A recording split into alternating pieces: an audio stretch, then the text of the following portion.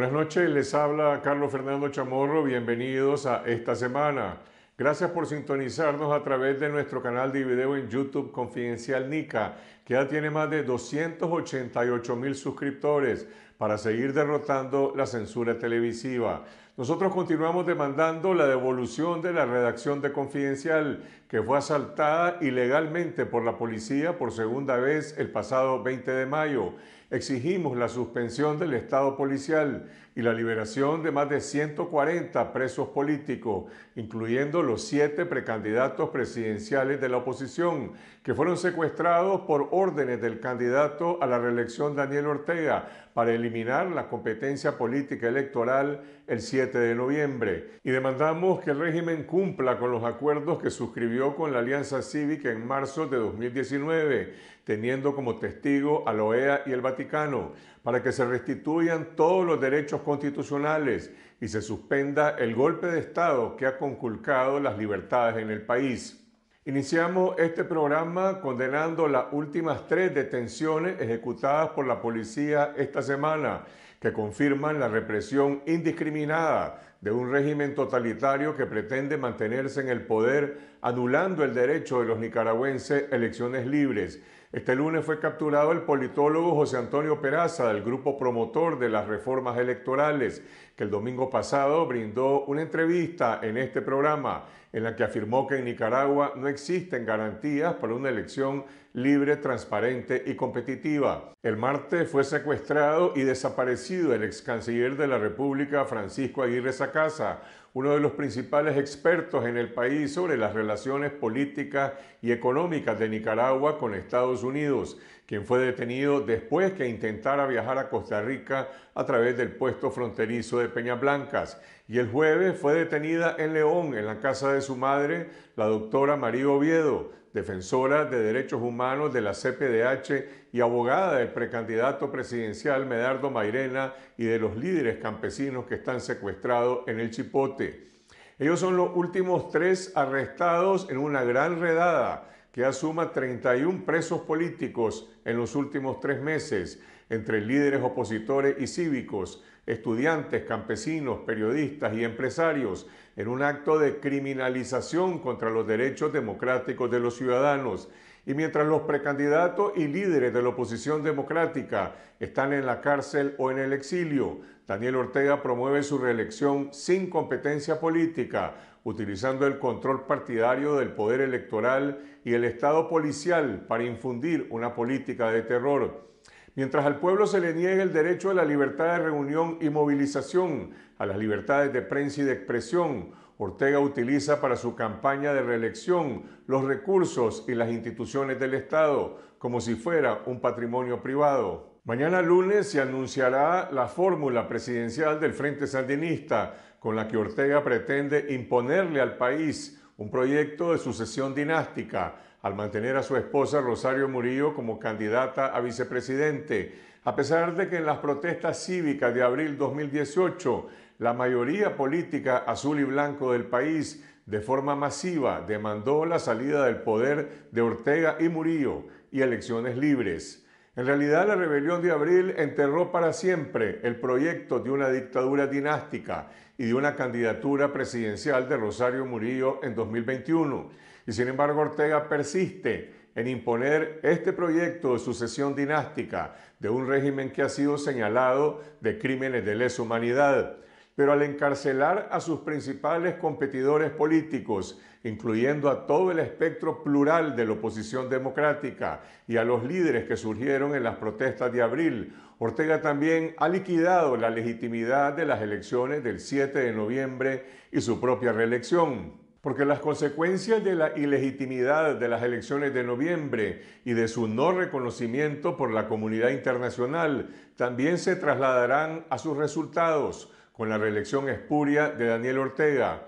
Ortega y Murillo perdieron su última oportunidad de ser parte de la solución política a la crisis nacional y expondrán a su propio gobierno al desconocimiento diplomático de una parte importante de la comunidad internacional la verdadera encrucijada de Nicaragua ya no son las elecciones del 7 de noviembre, que más bien van a agravar la crisis política nacional, sino cómo iniciar una transición democrática y convocar a nuevas elecciones en 2022, lo cual solo será posible sin Ortega y sin Murillo.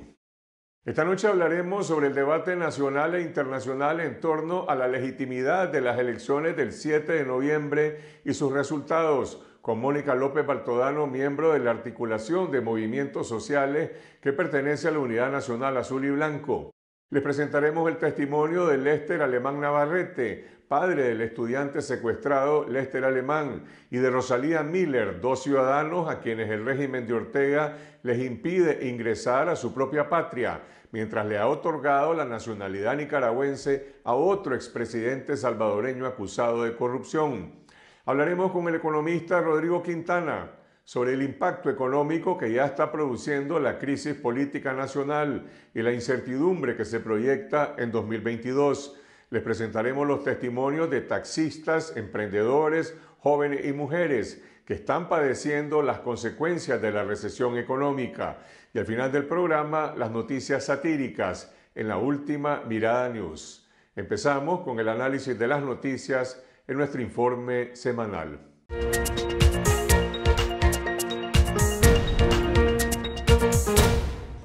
El ex canciller Francisco Aguirre Sacasa, el politólogo José Antonio Peraza y la abogada defensora de derechos humanos María Oviedo fueron arrestados esta semana, con lo que suman ya 31 presos políticos detenidos en los últimos dos meses.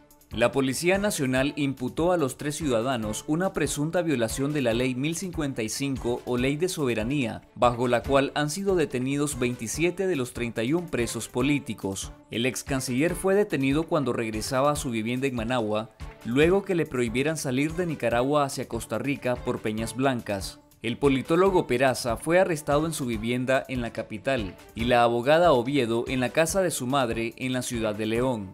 Al igual que con todos los detenidos, la Fiscalía solicitó para Aguirre, Peraza y Oviedo una extensión de 90 días del periodo de investigación y detención judicial. Con siete precandidatos y 15 líderes de la oposición en la cárcel y decenas más en el exilio, el Frente Sandinista se prepara para inscribir a Daniel Ortega y Rosario Murillo para una reelección presidencial sin competencia electoral de la oposición. La fórmula electoral oficial confirma el proyecto del FSLN de imponer la sucesión dinástica de una dictadura que ha sido señalada por crímenes de lesa humanidad. Mientras tanto, el Partido Ciudadanos por la Libertad inscribirá como candidatos a la presidencia y vicepresidencia al empresario ganadero y ex líder de la Contra en los 80, Óscar Sobalbarro, y a la reina de belleza, Berenice Quesada.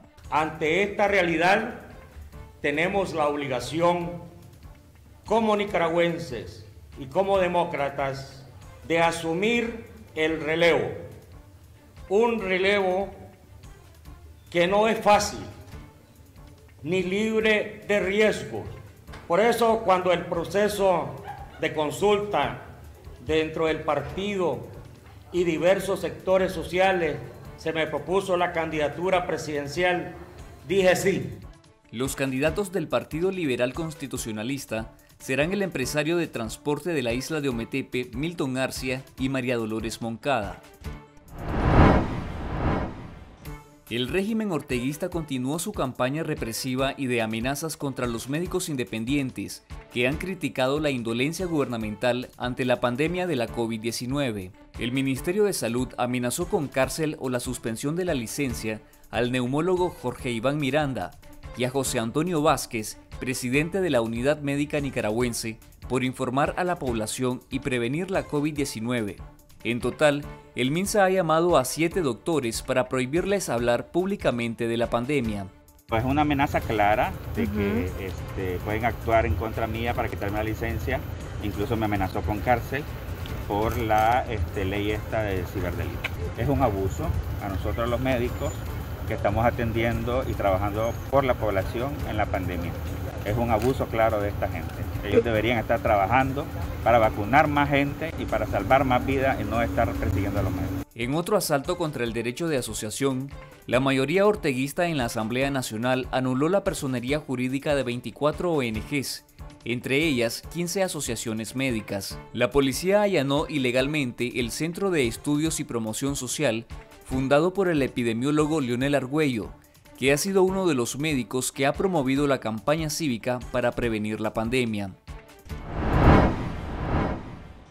Los candidatos a la reelección presidencial Daniel Ortega y Rosario Murillo lanzaron un nuevo ataque virulento contra los sacerdotes de la Iglesia Católica que denuncian las violaciones de los derechos humanos y llamaron fariseos a los obispos que mediaron en el diálogo nacional durante la matanza de 2018. Cristo les llamó fariseos cuando los encontró en el templo y los sacó a latigazos. Y los fariseos no han desaparecido. Ahí andan vestidos elegantes. Y hablando como que fuesen unos santos.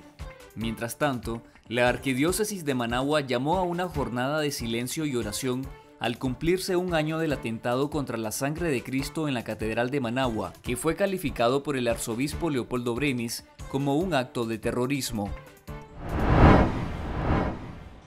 El director y presidente de la Junta Directiva del diario La Prensa, Jaime Chamorro Cardenal, falleció a los 86 años de edad en su casa de habitación por complicaciones de salud. El ingeniero Chamorro Cardenal inició a laborar en la prensa en 1974 como gerente y asumió la dirección del diario en 1993 destacándose como defensor de la libertad de prensa.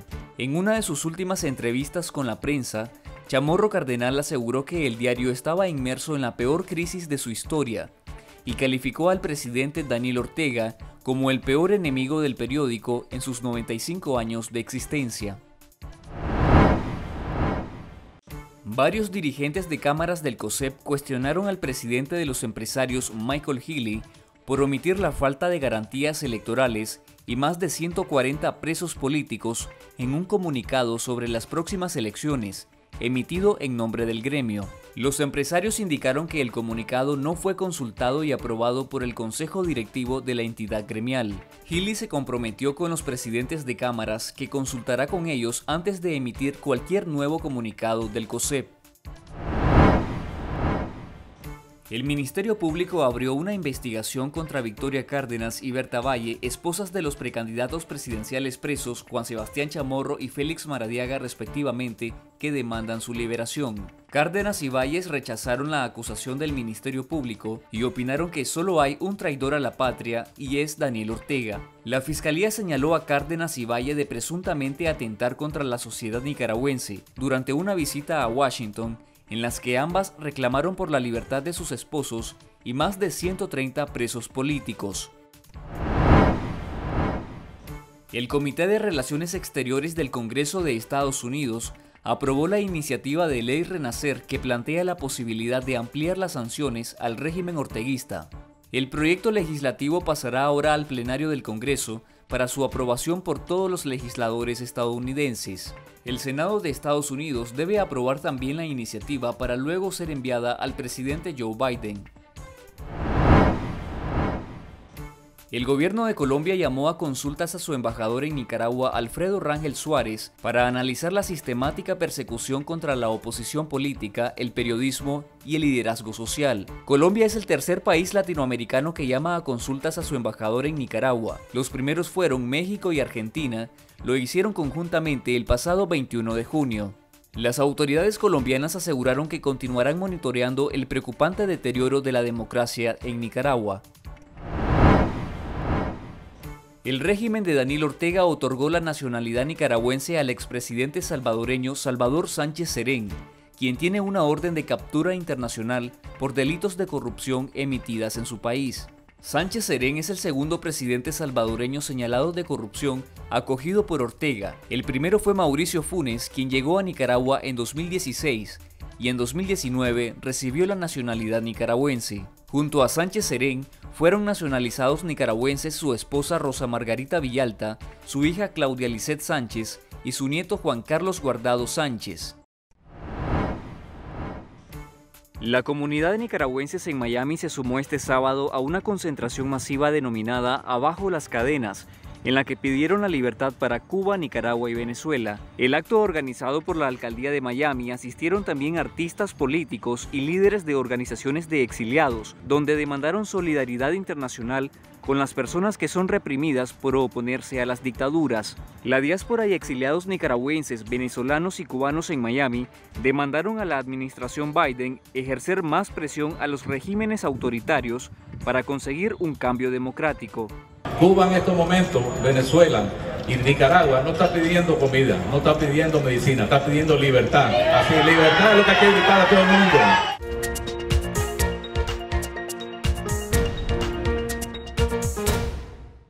Esas son algunas de las noticias que tuvieron más impacto durante la semana. Y ahora vamos a la historia de los nicaragüenses que han sido proscritos en su propia patria, además de imputarle a decenas de ciudadanos el presunto delito de traición a la patria por demandar elecciones libres.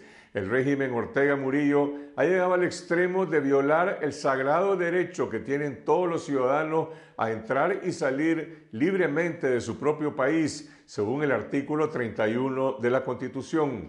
Esta semana Ortega le otorgó la nacionalidad al expresidente salvadoreño Salvador Sánchez Serén, acusado de corrupción en su país. Sin embargo, a los propios nicaragüenses les niega el derecho a circular libremente en su patria. Mi colega Cindy Regidor conversó con Lester Alemán Navarrete, padre del líder estudiantil preso Lester Alemán, y con Rosalía Miller, una profesional nicaragüense residente en Estados Unidos, a quienes se les ha negado el derecho a ingresar a su propio país, y nos cuenta su historia. Gracias Rosalía y Lester por aceptar esta entrevista. Don Lester, ¿qué fue lo que sucedió luego de que usted aterrizara en Nicaragua el pasado 16 de julio? Cuando yo me, bajé del avión, yo miré cuatro personas paradas en la puerta, pero como siempre hay gente ahí del ejército y de la policía, no les paré, mejor dicho, como dice la palabra, mucha mente. Hice mi fila para entregar el permiso de que uno chequea, que lleva uno, que le dan ahí en el avión para llenarlo. Cuando entregué mi prueba de COVID y el, y el papel ese de, de, migración, cuando yo voy bajando la grapa para chequear el pasaporte, los cuatro, los cuatro señores esos, que eran dos del ejército y dos de la policía, venían detrás de mí y abajo está otro policía con, con otro de migración. Cuando yo me bajo en la grada ya para entrar hacer fila, para entregar la ventanilla, para chequear mi pasaporte, me, quita, me dice, deme su pasaporte, me dice. Mire, normal, pues le di el pasaporte, pero nunca esperé, ni por mi mente me pasó eso que me iban a hacer. Cuando ya me quita el pasaporte, me dice, en esa ventanilla. En la ventanilla donde me llevó, no hay nadie haciendo fila. Y los dos, los otros cuatro hombres detrás de mí, los dos del ejército y los dos de la policía. Entregué mi pasaporte, me dice, quítese la mascarilla y quítese la gorra. Vamos a tomar la foto. Ah, ya tomaban la foto y él tiene el pasaporte, pero yo normal hasta la fecha todavía no había agarrado nada, pues que eran por mí. Cuando después que me, ya me chequeé el pasaporte, me dice, deje el pasaporte y acompáñeme a este cuarto. Cuando entramos al cuarto, me dice, ¿sabía usted? Me dice que usted no tiene permiso de entrar al país. ¿Por qué razón? Le digo, si yo soy nicaragüense. ¿Sabía usted? Me dice, lo que hizo su hijo, socavar la dignidad del país y atentar, me dice, un golpe de Estado contra el gobierno. Pero si mi hijo, le digo, no ha matado a nadie, Además, no lo tienen preso ya, ¿Qué es lo que quieren? Hay una orden de arriba, me dice que usted no puede entrar al país. ¿Por qué razón, Silvio? Si yo soy nicaragüense. Es una orden de arriba que usted no puede entrar al país, me dice el del... Y después me dice, en el vuelo que está ahí parqueado, me dice, en ese se tiene que regresar. Tiene que regresarte para Estados Unidos. Espérenme aquí, me dice, con otro oficial, me quitaron mis zapatos. Los pusieron ahí, sí, los zapatos, en un bolsito que andaba como canguro y yo, y mi teléfono en la mesa. Después llegó el otro, el de migración con otro oficial Dice, me dice que el avión no lo puede llevar porque tiene que pagar su pasaje. ¿Por qué razón voy a pagar pasaje yo? Y si ustedes son los que me están sacando del país. Además, le digo, yo tengo mi fecha que me voy a regresar del país, le digo, para Estados Unidos. Pero si ustedes no me están dejando entrar porque dicen ustedes que una orden de arriba, le digo, ustedes verán ustedes, le digo, cómo me llevan de vuelta para atrás. No, me dice, ya hay país, usted me dice con sus tarjetas de crédito que usa, me dice, fíjate, le digo que no uso tarjeta de crédito, yo digo, porque a mí me gusta, estoy a la antigua, y me gustan ver los, los reales constantes y sonantes. Bueno, se regresó el hombre para allá a la aerolínea, supuestamente de vuelta. Después que estaba ahí conmigo me pregunta, ¿qué relaciones tiene usted, me dice, con Cristiana Chamorro? Ni la conozco yo, hermano. ¿Cuánto dinero me dice ha jugado usted con Cristiana Chamorro? Tú estoy diciendo que no la conozco. Es una orden de arriba, dice que no puede estar más tiempo aquí en el aeropuerto, se tiene que ir en ese vuelo. Y, pero para mí una sorpresa, porque yo iba a ver a mi hijo, a ver en qué, por, por lo menos a saber alguna información de algo de él, porque es a la fecha y no sabemos nada de Lester. Doña Rosalía, ¿y usted eh, también intentó entrar a Nicaragua? Eh, ¿Qué fue lo que pasó? Eh, en mi caso, yo estaba entrando por Peña Blancas el 2 de junio, a eso del mediodía, por ahí, y llegamos este, con la prueba COVID, con todos los documentos necesarios. Yo soy nicaragüense americana y andaba este, con todo correcto para entrar. Yo nací en Nicaragua, nací en Managua, Nicaragua es mi patria. Y pues este, no tengo ninguna razón por temer pues, nada. Había, hay un puesto allí como, como hecho de, de tablas de madera, como, parece esa como una casucha, nada oficial que se veía. Eh, nada tan elegante como allá en el horizonte yo veía un edificio blanco muy moderno que me di cuenta pues que era obvio que allí son las oficinas de migración, a donde nunca llegamos. Eh, aquí nos pararon y entregamos pasaporte con prueba COVID, todo eso. Y allí en aquel sol, esperando por mucho tiempo, casi una hora, comenzaron las interrogaciones. El pasaporte se lo llevaron allí en ese puesto que le digo y comenzaron las preguntas. Estuvimos allí por casi 57 minutos. Las preguntas eran perdón, increíbles. Em, ¿Quién es él? Apuntando a mi marido. Le contestaba, él, él es mi marido. ¿Y qué hace él? pero siempre contó una altanería, ¿no? ¿Y qué hace él? Él, es, él fue diplomático, está ya está retirado. Sus credenciales, ¿dónde están sus credenciales? No le digo, le acabo de decir que, que está ya retirado.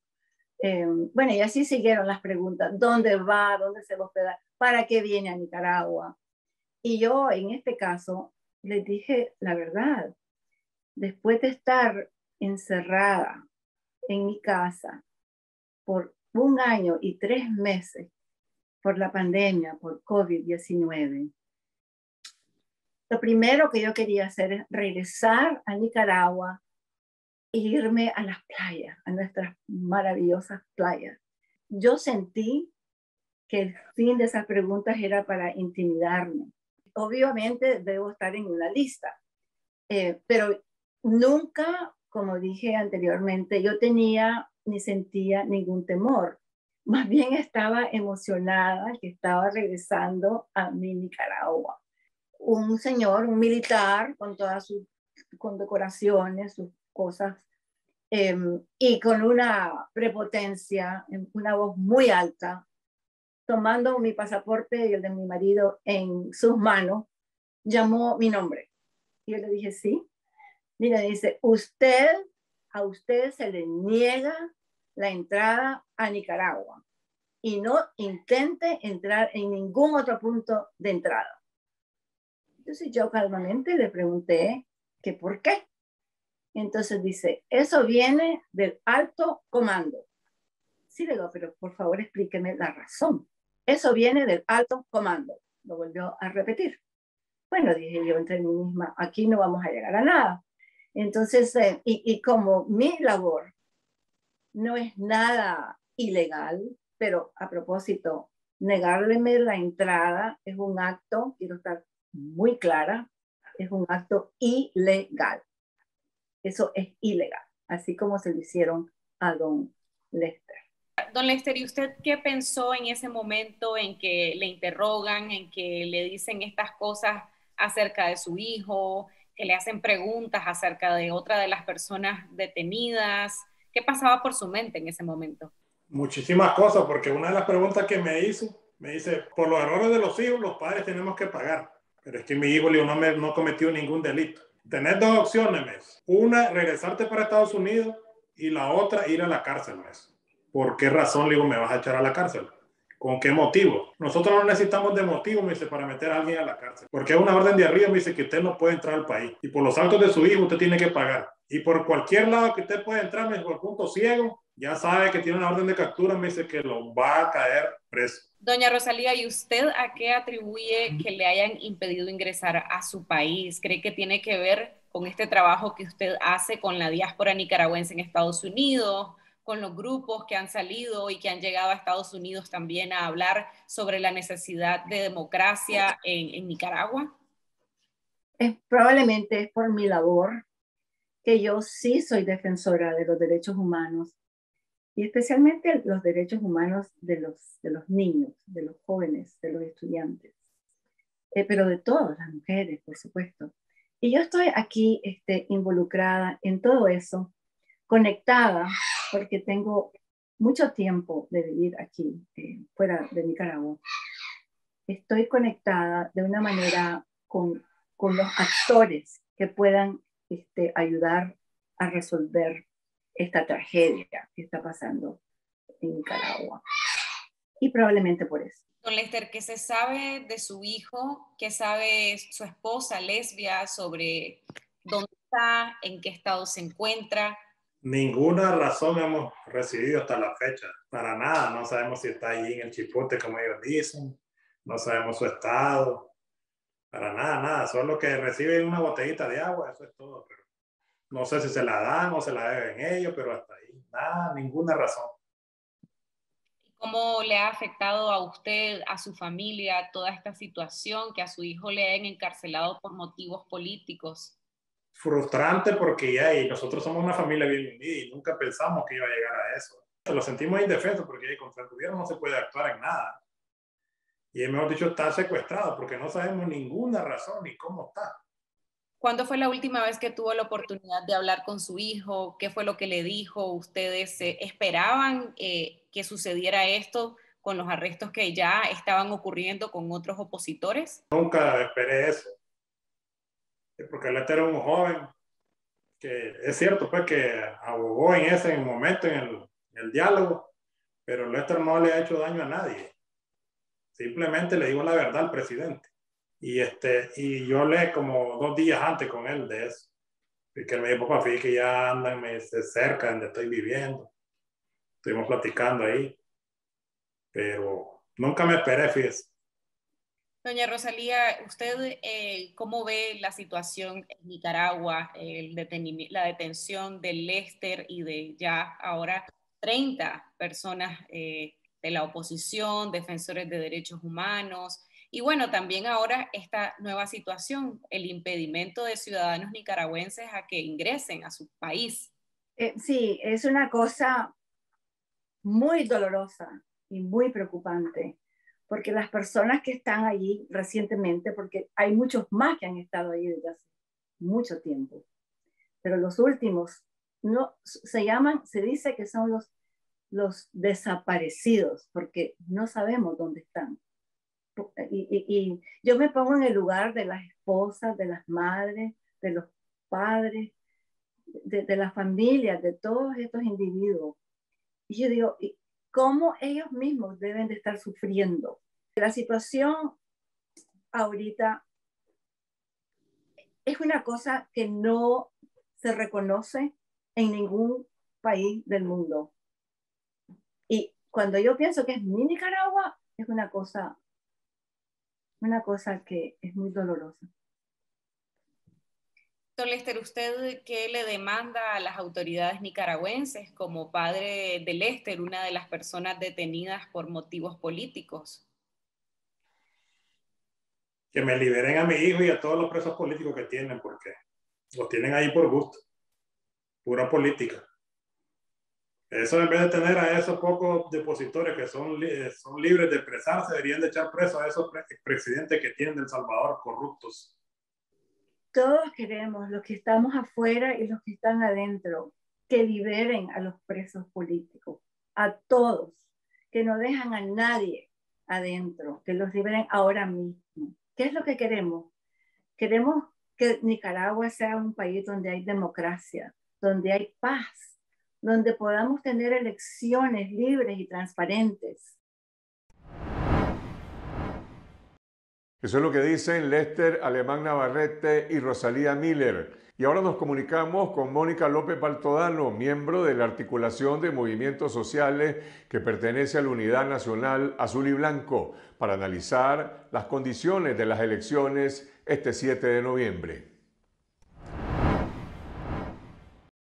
Mónica, a pesar de que hay siete precandidatos y más de 15 líderes de la oposición presos, este lunes se inscribirán los candidatos a la presidencia y a la asamblea del Frente Sandinista y de otros siete partidos políticos. ¿Significa esto que hay una competencia electoral? Primero, pues quisiera empezar expresándote a vos y a tu familia solidaridad. Familias que están sufriendo, como la tuya, como las de las presas y presos políticos, las familias de las víctimas que siguen eh, incesantes en su búsqueda de justicia, las familias que están desgarradas por el exilio. Quisiera empezar por expresar solidaridad. Eh, en relación a, a, la estrategia electoral, pues la valoración que tenemos en la articulación de movimientos sociales es que la estrategia electoral fracasó por varias razones.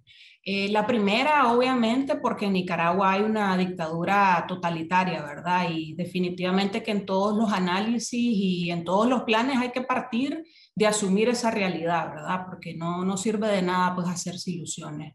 Eh, la contrarreforma electoral, la composición de los magistrados del Consejo Supremo Electoral, el aprisionamiento injusto de más de 140 personas y el estado de sitio permanente eh, enterraron por completo cualquier credibilidad del proceso. Pero también, por otro lado, todos los partidos políticos existentes eh, siguieron una dinámica ya histórica que es muy nefasta, que es la de dejarse llevar por el sectarismo, la exclusión, el privilegio de los intereses particulares y corporativos por sobre los intereses generales, la corrupción, los dedazos. Y en el caso particular de C por L, con el apoyo del gran capital, inviabilizaron la concertación plural opositora que la ciudadanía estaba demandando. Y eso también contribuyó a enterrar la credibilidad del proceso electoral.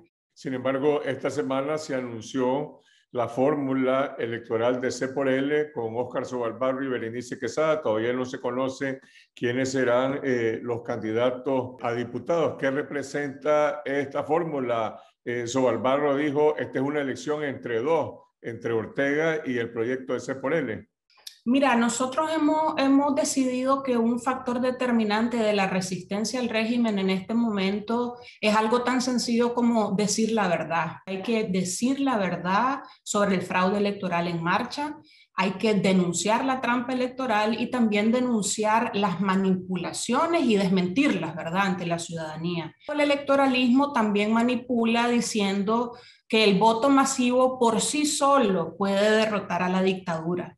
Y eso realmente pues, se, se, desmiente cuando sabemos que estamos en un estado de sitio permanente, eh, con limitadísimos medios de comunicación, sin posibilidades de movilizarnos, de hacer propaganda, eh, con secuestros que están a la orden del día, con, con, un control absoluto del régimen sobre el conteo de los votos. O sea, al final de cuentas, hasta con los candidatos que, que el régimen admitió ¿verdad? Porque el secuestro de, innumerables candidatos lo que te indica es que el régimen determinó eh, con quién iba a, a, entre comillas, competir en este circo político. Pero también algo importante, Carlos, hay que nombrar los silencios. ¿Qué pasó con el Vaticano y el Nuncio? En un momento fueron garantes de una negociación con el régimen. ¿Por qué el COSEP saca un ofensivo comunicado hablando de una inexistente fiesta cívica que más bien es un, un, banquete de secuestros políticos, pues hasta de su propia gente?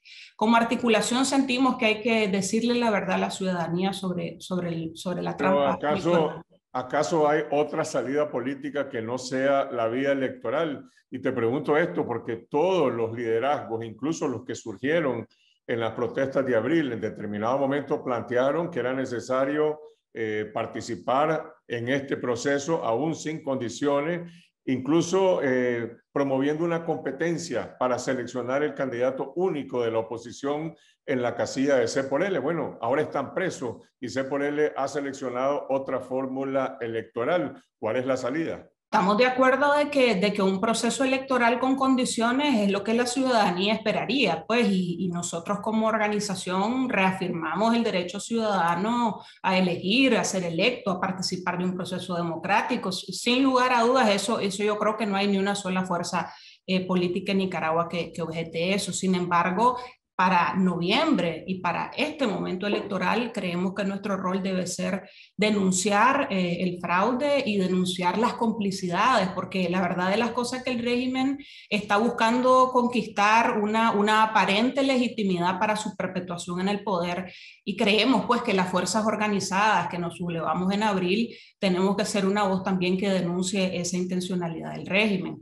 Una de las lecciones que yo creo que hay que sacar del, del fracaso de la estrategia eh, electoral en este momento, producto de, la, de, los factores que mencioné antes, es que cuando uno se organiza solo pensando en, en, en crear tendidos electorales tradicionales, esos tendidos luego no te sirven para hacerle frente a la represión, como lo ha demostrado pues la situación en la que nos encontramos actualmente.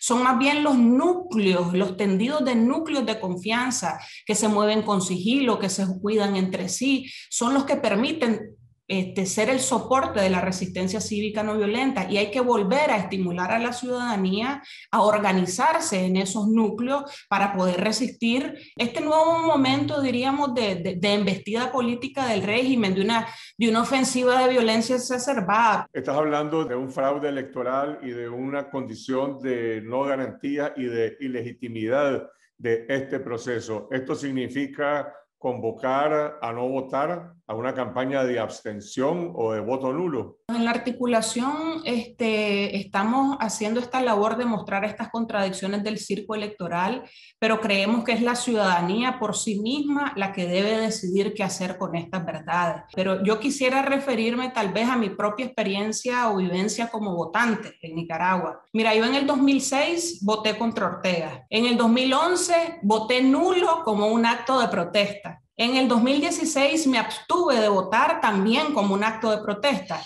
Y resulta que de esas tres experiencias diferentes, la que a mí me mostró en el transcurso de mi, de mi, de mi activismo político, eh, que realmente pone en jaque la dictadura, fueron los esfuerzos de organización popular como el del movimiento campesino anticanal, la sublevación de abril. O sea, yo lo que digo es que si partimos de que estamos frente a una dictadura totalitaria que no, no está dando la posibilidad de que noviembre sea un mecanismo real de solución eh, a la situación que vivimos en el país, eh, creo que tenemos que estar convencidos de que indiscutiblemente es la organización y la rebelión ciudadana la que puede permitir este, golpear de manera más certera al régimen para conquistar sin lugar a dudas las condiciones que hemos querido eh, y que hemos peleado durante los últimos años para una transición democrática en el país. De manera que nosotros no descartamos la salida electoral, lo que decimos es que en noviembre lo que va a haber es un circo electoral.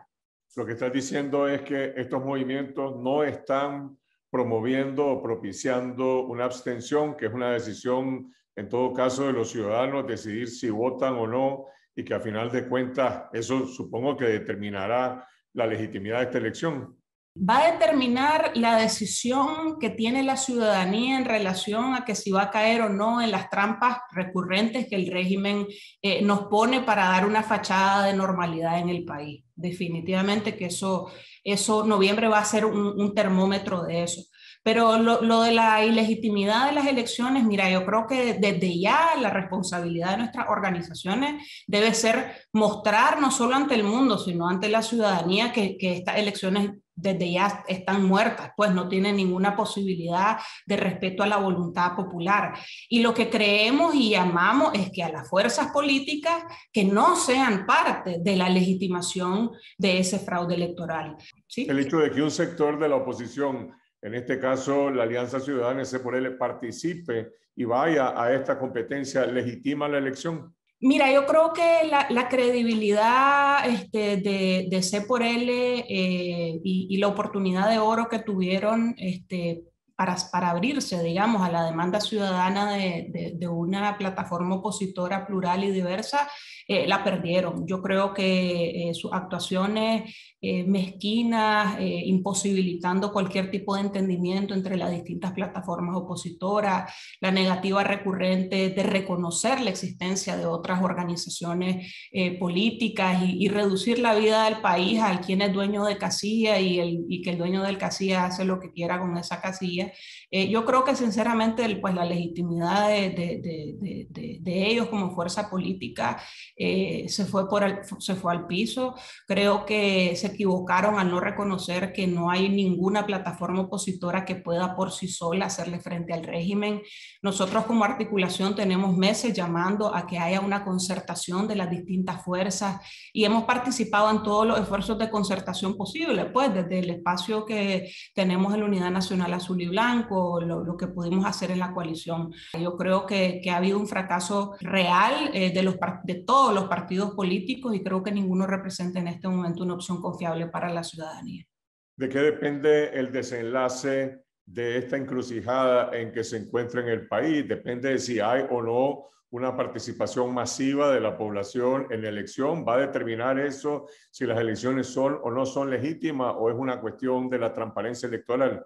No, yo creo que, yo creo que el, este, el resultado, por todos los elementos que, que hemos venido mencionando, eh, va a ser la, la, de la perpetuación del régimen. O sea, ellos tienen montado una estructura de control absoluto y el hecho pues, de que han cerrado todas las puertas a la observación internacional, a la comunidad internacional y la persecución este, descarnada que están haciendo de las organizaciones opositoras, eh, eh, para nosotros no, no hay este, ninguna razón para creer tener eh, que va a haber una, una solución en noviembre. Lo que sí nosotros creemos es que la apuesta debe seguir siendo estimular a la ciudadanía a fortalecer su capacidad de organización y resistencia partiendo de un pilar, ¿verdad? Porque en este momento, con la oleada represiva que estamos viviendo, para nosotros la prioridad debe ser salvaguardar la vida, la integridad y la libertad de las personas. Pero eso no significa dejar de organizarse, significa organizarse y hablar de otras maneras. Por ejemplo, nosotros estimulamos eh, a la población a que, a que no callen ningún abuso. No importa si tienen que hablar mediante seudónimos, si tienen que encubrir su identidad, si tienen que trabajar con vocerías en el exilio, pero no hay que callar ningún abuso, ni tampoco dejar de ejercer la memoria y recordar todos los días las personas secuestradas, las personas asesinadas, y no solo las asesinadas en las protestas, Carlos, sino las que están muriendo ahora producto de, del mal manejo con mano criminal que ha hecho el régimen de la pandemia. ¿Qué consecuencias tendría para el país la reelección de Ortega sin competencia política? ¿Le daría estabilidad al país el hecho de que sea reconocido por la segunda fuerza que resulte de esta elección o se pueden acaso anular estas elecciones? Yo creo que no hay estabilidad posible en Nicaragua con, con, con el régimen de los Ortega Murillo en el poder, eh, en ninguno de los ámbitos, ¿verdad? Quienes crean pues que van a lograr una estabilidad en lo económico eh, terminarán jugando un rol este, complaciente como, otras, como con otras dictaduras, pero como, como ciudadanía esta situación es absolutamente insostenible.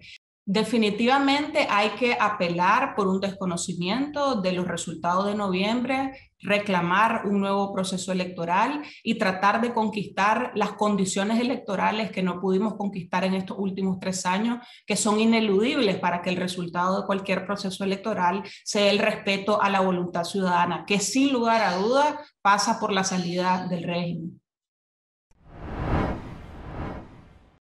Eso es lo que dice Mónica López Baltodano de la articulación de movimientos sociales. Continuamos con el economista Rodrigo Quintana para analizar el impacto económico de la crisis política nacional.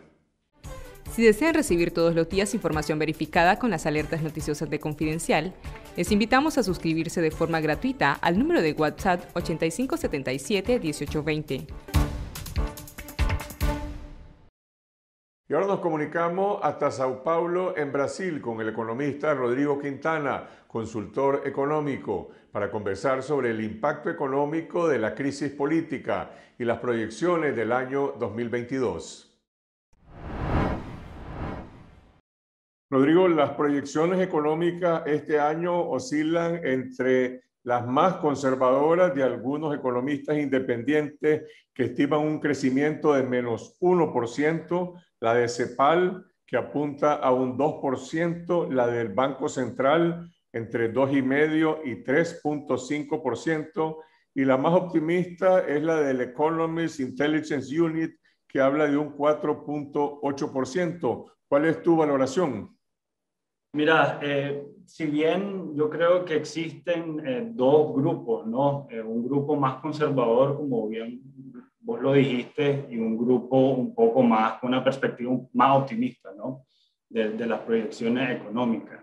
Ahora, lo que, lo, lo que yo observo es que existe una falta de consenso, ¿no? Hacia, hacia dónde va la situación económica del país y a esa falta de consenso se da debido a la incertidumbre que existe hoy por hoy. ¿no? Un, analista de riesgo en una empresa toma eh, eh, sus decisiones basadas en cuatro variables fundamentales. ¿no? La tasa de interés que, que, se ha mantenido oscilando entre 9 y 10% en un año, eh, la tasa de inflación que se ha mantenido entre la banda del 2019, que fue alta, y la del 2020, que fue relativamente baja, pero nunca mayor a, dos dígitos, y la, y la, tasa de cambio, que en Nicaragua es, bastante predecible por su política cambiar de, deslizamiento. Y la última, que, son, que es la, de las proyecciones de crecimiento, que hoy por hoy yo creo que no existe, como no existe ese consenso, eh, cada inversionista tiene que tomar su decisión basado en lo que, lo que subjetivamente van creyendo, porque hoy por hoy no hay un consenso y eso no te permite tomar una decisión basada en ese consenso.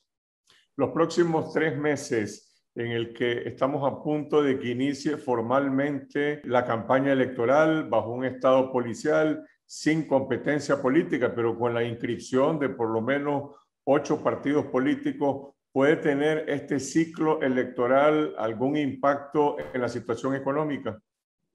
Sí, es que el impacto en la economía ya, ya se está dando, ¿no? Porque la incertidumbre está anclada a lo que sucedería en noviembre de este año. Eh, existe una especie de parálisis donde varias inversiones están a espera de lo que va a pasar. Ahora, eh, hace un mes la, la incertidumbre era levemente mayor de lo que tenemos hoy por hoy. Eh, por un lado, tenemos un campo que ya está rayado, ya hay una, hay una fecha, hay candidatos, hubo un proceso de inscripción. Y por otro lado, se están empezando a sentar las bases de una nueva normalización eh, por distintas razones. Primero, tenés en, en Estados Unidos una recuperación eh, por la vacuna y por una nueva inyección de inversión de proyecciones de infraestructura. Eh, y por otro lado, tener un boom en los precios de las commodities eh, de ganado, eh, de, café, de, de, oro, y, es, y, eso te da una tendencia a la, a la, recuperación. Como ejemplo, en Nicaragua vos tenés un, un expica que se está dando en medio de una, de una, crisis política que te permite ver cómo, el, cómo está realmente el pulso del mercado.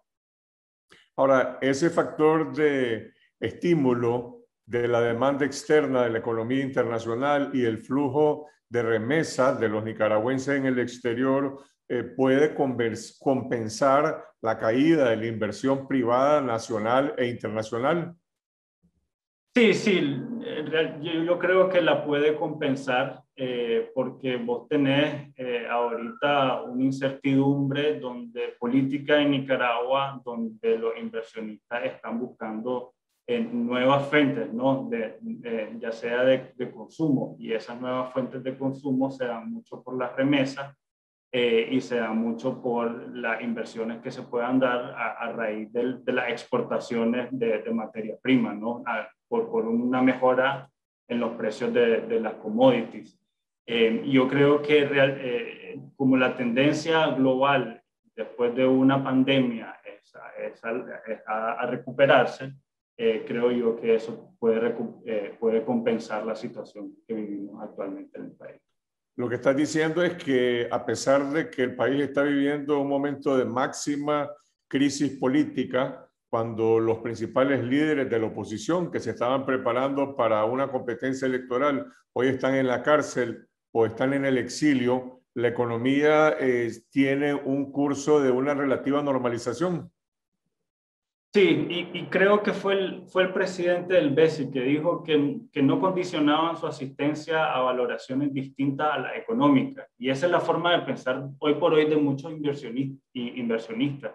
Hay que, hay que entender de que esta crisis económica no es nueva, eh, la venimos arrastrando desde hace tres años y por ende los ajustes de escenario eh, lo vienen haciendo los inversionistas ya desde, hace un tiempo. Estamos simplemente en un nuevo escenario de muchos de los que ya hemos sufrido. Y haga lo que haga, el gobernante actual puede afectar, pero no va a determinar las, las decisiones de, de inversión. Tanto consumidores como inversionistas van a seguir tomando medidas según sus predicciones, según los nuevos escenarios ya sea manteniendo parte de su capital afuera del país o buscando otras oportunidades en el exterior.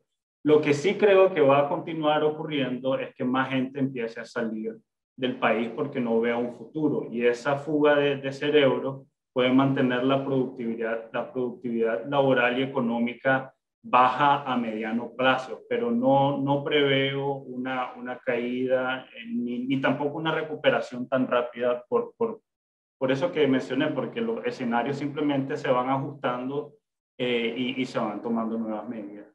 ¿Se puede proyectar el impacto económico de las elecciones de noviembre en 2022, cuando ya existe una controversia, un debate nacional e internacional sobre la legitimidad de estas elecciones y por lo tanto sobre la legitimidad del gobierno que resulte de las elecciones?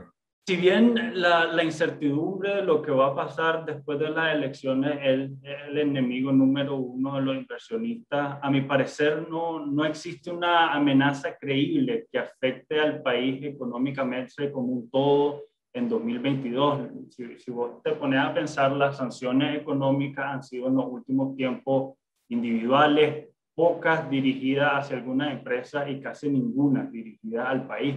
El no reconocimiento, eh, a mi parecer, solo afectaría de forma significativa si está ligado a la prohibición de empresas de estos países a no hacer negocios con Nicaragua.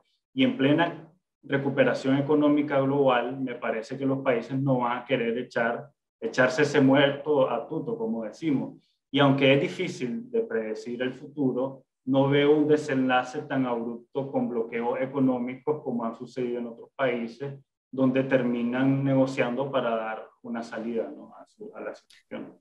Sin embargo, la aplicación de la ley Renacer, o por otro lado, la inclusión en esta ley de una decisión sobre una posible suspensión de Nicaragua en el CAFTA y otro tipo de sanciones de parte de la Unión Europea podrían afectar el acceso de Nicaragua a organismos multilaterales de crédito. Me refiero al Fondo Monetario, al Banco Mundial, al Banco Interamericano. Sí, sin lugar a duda podría afectar, eh, pero este, eh, esta afectación no se va a dar rápidamente. Son procesos burocráticos internacionales bastante lentos eh, que pueden llevar años hasta ser aprobados por los diferentes países, las cámaras, congresos de los diferentes países.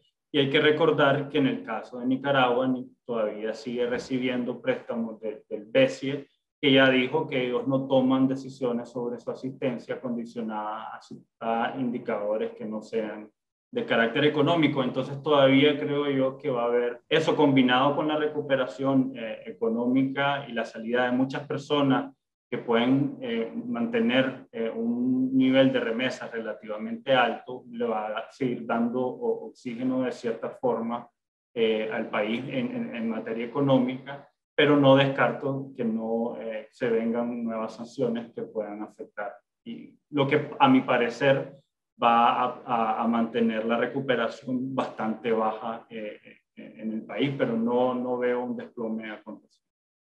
Ahora, hay ganadores y perdedores en esta suerte de normalización económica, porque cuando uno le pregunta a emprendedores, a jóvenes, a gente que ha estado vinculado con empleos formales, eh, también están pasando por una situación muy precaria. Sí, sin lugar a dudas. Cuando yo hablo de una recuperación económica, lo hablo a título de país, ¿no? Pero dentro del país siempre van a haber ganadores y perdedores.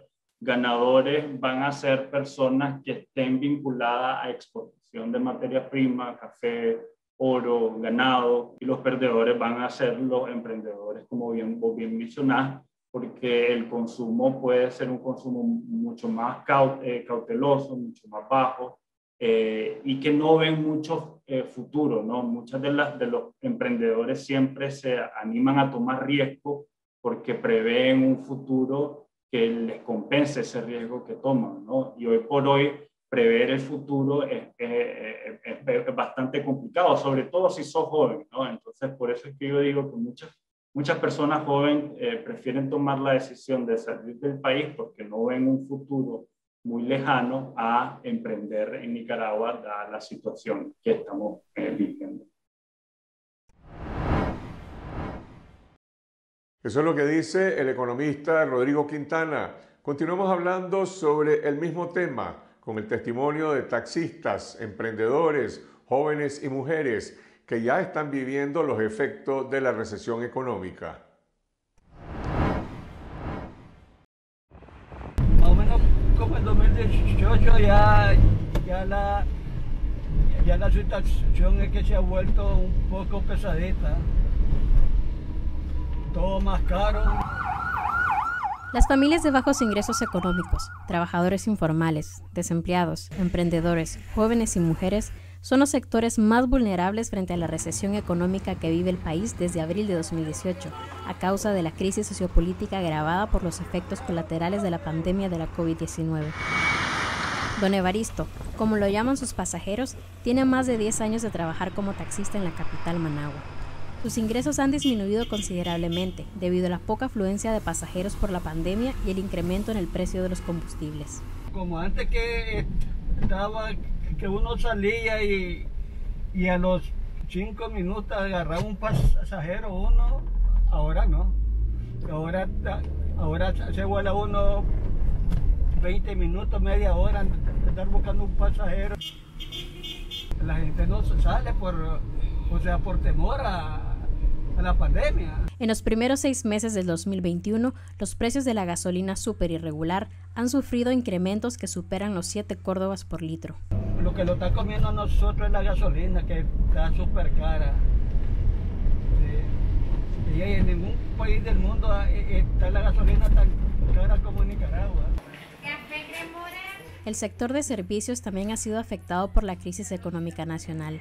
En los últimos tres años, las agencias de publicidad y agencias de viaje han tenido que suspender operaciones en varias ocasiones. Mi empresa es una empresa de publicidad, pero está enfocada a lo que es la, lo que es la confección, serigrafía, em, bordado, promocionales, todo lo que tenga que ver con producción. Eh, ya tengo ocho años de haber emprendido con este proyecto que tanto amo y que ahí seguimos en la lucha. Tania Molina fundó Suma Publicidad en 2013. En 2018 suspendió operaciones temporalmente a causa de la crisis política y económica. Tuve que cerrar la empresa, suspender a todo lo que es mi personal. En lo personal, pues yo sí me tuve que ir fuera del país una temporada, pues porque en realidad eh, los gastos siempre estaban y no tenía liquidez, entonces me tocó. El 2019, pues sí, no fue no fue como en los años anteriores como nos, iban, nos iba, pero pues ya estábamos buscando caminos hasta que llegó el, el, tema de la pandemia que fue más complicada. La sobrevivimos, siempre, siempre ahí con, tomando precauciones. Ya los clientes, como yo tengo confección, eh, comenzamos a hacer mascarillas, buscando alternativas de trabajo. La incertidumbre está a flor de piel los financiamientos están con pinza. El problema es de que lo, que es el interés te consume horriblemente, entonces es bastante complicado, te piden mil de cosas.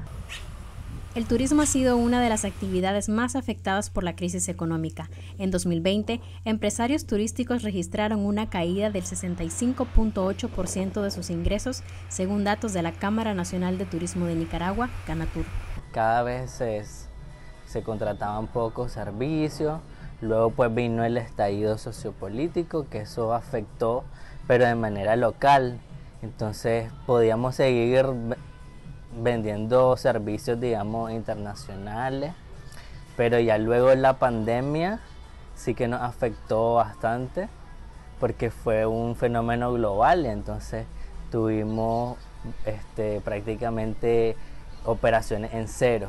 Teníamos que buscar ingresos, entonces una de las alternativas fue este, en conjunto con otros colegas empezar a impulsar la venta de mascarillas también porque era un, un tema importante en ese momento, este, proveer servicios, este, productos de bioseguridad. Se siente un ambiente de incertidumbre eh, económico y, social.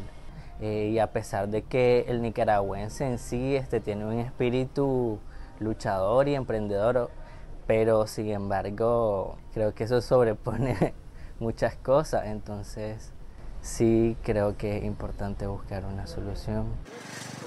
Entre 2018 y 2020, 222 mil nicaragüenses han perdido sus empleos, según datos de la Fundación Nicaragüense para el Desarrollo Económico y Social, FUNIDES. Si no hay oportunidades, ¿qué va a hacer?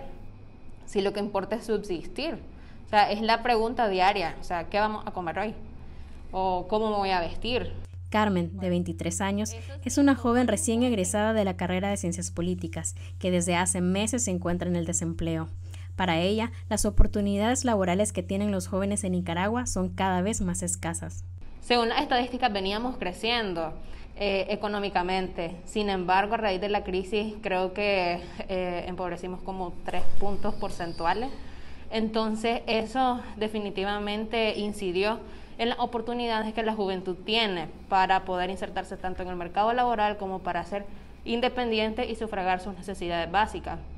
Ahora, eso sin contar con que hay muchos jóvenes que también mantienen a su familia. Emprender, trabajar en el sector informal o emigrar son algunas de las pocas alternativas que a criterio de Carmen tiene la juventud nicaragüense ante la falta de empleo en el país. Diría que el emprendimiento, que ha sido como eh, una fuente de subsistencia, yo ni siquiera diría como de crecimiento económico, porque pues la, la mayoría de gente que emprende pues son pequeños emprendimientos que te ayuda a vivir, a sobrevivir el día a día, tal vez a satisfacer tus necesidades más básicas. En el caso de Nicaragua se suman las dos, o sea, migras porque necesitas migrar y migras porque querés, porque querés un futuro mejor, querés un lugar donde tengas oportunidades de empleo que te permitan vivir dignamente y que aquí no encontrás. Don Evaristo, Tania, Joseph y Carmen coinciden en que es urgente una solución pacífica a la crisis política que enfrenta el país de lo contrario, la crisis económica podría agudizarse. Seguimos patinando en lo mismo, lamentablemente. Ya no es ni siquiera el tema de la pandemia, sino que lo que es el tema sociopolítico, que no, no, te dan como ánimo de trabajar, no te dan como, o sea, no quieres arriesgar mucho porque no sabes qué va a pasar y con lo poco que tenés, entonces, sobrevivir. Yo le digo a los pasajeros, hay que saber votar, tal vez salimos de este de este atolladero, le digo. Porque con este hombre estamos listos. Y ahora vamos a las noticias satíricas que no alcanzaron en el informe semanal en la última Mirada News.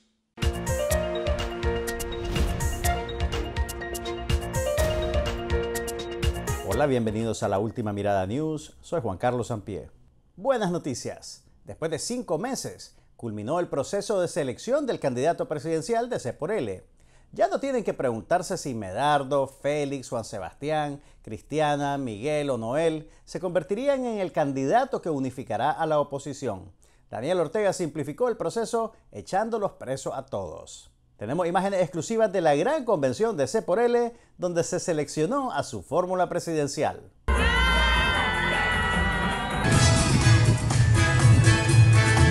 Vaya, eso sí parece una fiesta democrática. No, eso no es la convención de C por L. Esta es la convención de C por L. Se proclamó eh, la fórmula presidencial llamada a derrotar al Frente Sandinista el próximo 7 de noviembre. Don Oscar Sobalbarro. Esta candidatura no es mía,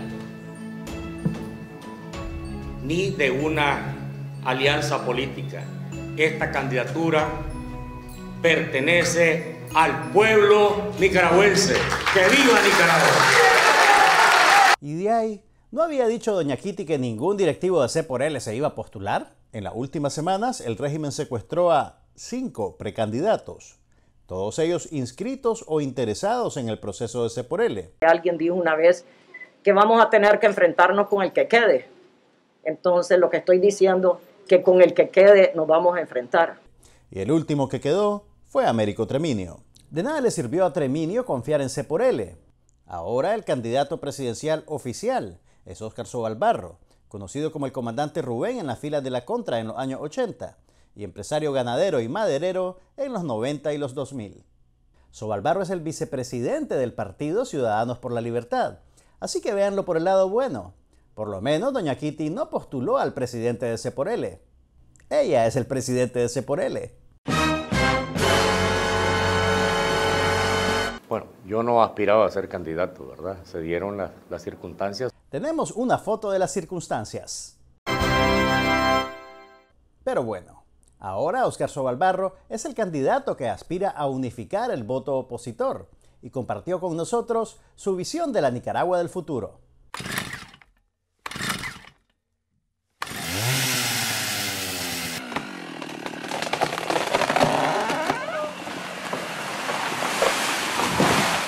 En el documental de esta semana, Emergencia en el Bosque, producido en el año 2006, varias fuentes señalaron a la empresa Santo Domingo, propiedad de Sobalbarro, de beneficiarse del despale en reservas naturales. Toda la madera que tiene esta empresa ya está liberada todita porque no encontraron ni una sola ilegalidad. Es más, no es ni siquiera una amonestación. Están mandando, se le están comprando madera ilegal a personas que se han metido de manera fugitiva ahí. Cortaron de la reserva, pues, de Wisconsin. Trabajaron cuatro años de manera ilegal. Pero bueno, considerando que la prioridad del momento es salir de la dictadura, supongo que C por L pretende que pasemos esto por alto. Cuando vayan a votar, váyanse por la sombrita, si la encuentran. La nominación de Sobalbarro apela a la sensibilidad de los nicaragüenses que desean ver a un hombre fuerte ostentando el poder. Después de todo, fue líder de la contra en la década de los 80. Si Daniel Ortega es un hombre de armas, Óscar Sobalbarro lo es también. Y para balancear la fórmula presidencial, necesitamos como vicepresidente a una persona que venga de la vida civil, que sea joven, que tenga nuevas ideas, alguien como Américo Treminio. La fórmula presidencial llamada a derrotar al Frente Sandinista el próximo 7 de noviembre, don Óscar Sobalbarro y a Berenice. ¿Quién es Berenice Quesada? Hoy en día quiero decirles que Berenice Quesada es Berenice Quesada. Qué bueno que aclaró eso. Berenice Quesada fue Miss Nicaragua en 2017, estudió hotelería y es nueva en el mundo de la política. Qué curioso, la falta de experiencia operó en contra de Américo, pero no en contra de Berenice. Y no son los que quedan, son los que se atreven. En papel puede sonar bien, pero en la realidad se enfrentan a una dictadura sangrienta. Óscar Sobalbarro puede cuidarse solito, pero sé por él es responsable de cualquier cosa que pueda pasarle a Berenice Quesada, porque en este contexto ni la juventud ni las buenas intenciones pueden protegerte. Esta dictadura es capaz de atacar a una muchacha cuya única falta fue aparecer dos segundos en un video de Israel Lanusa. No, es en un solo lugar. Ven aquí, mueve tu cuerpo, Esto puede parecer penoso, pero no descalifica a Berenice Quesada. Lo que sí está descalificado es el proceso de selección de C por L. C por L tiene su propio dedazo, aunque sea de otra especie. En honor a la verdad, la fórmula de C por L se ve muy competitiva en comparación a la del PLC. Como candidato a la presidencia de Nicaragua fue nombrado Milton Arcia y como candidata a la vicepresidencia a María Dolores Moncada. Vamos a darles el beneficio de la duda. ¿Cuál es su plan de gobierno? Moncada dijo que no tienen un plan de gobierno. Ahorita lo que a nosotros nos interesa, más que todo es que el pueblo nicaragüense crea en esta fórmula. No tienen plan de gobierno. Y Milton Arcia, a pesar de haber sufrido en el pasado la violencia del régimen en sus negocios y en su persona, dijo esto. Yo soy un operador turístico y yo me reúno con todo mundo y Raimundo. Me he reunido con los cuatro presidentes últimos que ha tenido Nicaragua. Me he reunido con los cuatro presidentes únicos, últimos. Incluso he, he traído al vicepresidente de Nicaragua, Jimmy Carter. ¿Cuándo fue vicepresidente de Nicaragua Jimmy Carter? Primero, Ortega le demolió un hotel y ahora Arcia va a demoler el cascarón de partido que dejó Arnoldo Alemán. Eso no es pacto ni nada ni amarre, aquí lo van a ver ustedes. Ajá. Le agradecemos al, al Frente de Sandinista que votó ah, para sacar, para sacar esa plaga que había en el partido. Solo le faltó decir gracias al comandante Daniel y la compañera Rosario. Con Daniel vamos adelante. Este viernes, el comandante Ortega tuvo que salir de su cueva para sobarle el lomo a los militares en el 42 aniversario de fundación de la Fuerza Aérea. Ortega ya está en campaña de reelección, por eso sus apariciones públicas han incrementado al ritmo de una vez por semana. Pasamos por ese periodo de 17 años, 18 años, donde están estrangulando los gobiernos de derecha aquí, están estrangulando al ejército, a la policía. Seguro, tanto así que durante esos 17 años, todos los jefes del ejército y la policía venían del sandinismo. Y se van a los Estados Unidos a decir a los yanquis que ellos están listos para que los yanquis los pongan a ellos en el gobierno y entonces van a desaparecer al ejército y a la policía. Si alguien ha hecho algo para desprestigiar al ejército y la policía, ese alguien ha sido Daniel Ortega. Fue él quien politizó las instituciones, destruyó la cadena de mando y las convirtió en un aparato represor y de remate fundó una fuerza paramilitar en la sombra. ¿Quieren rescatar al ejército y a la policía para que tengan un lugar en la Nicaragua del futuro? Pues, oficiales y soldados, únanse a la lucha contra la dictadura. Recuerden que cuando se fue Somoza, se acabó la guardia y se acabó la EBI.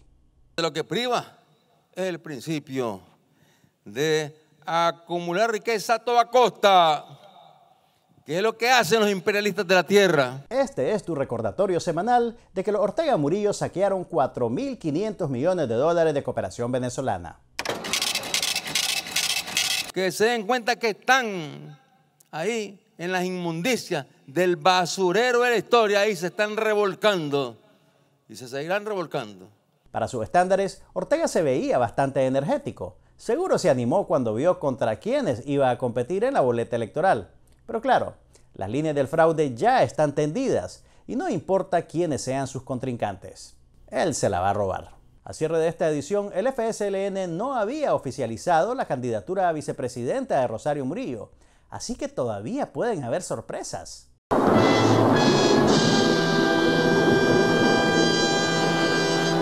No, no van a haber sorpresas. Claro que va a ser Rosario Murillo. Creo que prefiero a Berenice Quesada. Exigimos la liberación de los nuevos secuestrados por el régimen. El politólogo José Antonio Peraza, la abogada María Oviedo, el ex canciller Francisco Aguirre Sacasa y todos los presos políticos de la dictadura de Daniel Ortega y Rosario Murillo. Buenas noches. Así llegamos al final de esta semana. Nuevamente, gracias a toda nuestra audiencia por su solidaridad. Gracias a todos los medios radiales, televisivos y digitales que se enlazan con nuestra señal. Y si aún no lo han hecho, suscríbanse a nuestro canal de video en YouTube Confidencial Nica. Síganos en Twitter a lo largo de la semana. Y si desean recibir todos los días información verificada con las alertas noticiosas de Confidencial, los invito a suscribirse de forma gratuita al número de WhatsApp 8577 1820. Regresamos el próximo miércoles en esta noche con Cindy Regidor, siempre a las 8 de la noche. Buenas noches.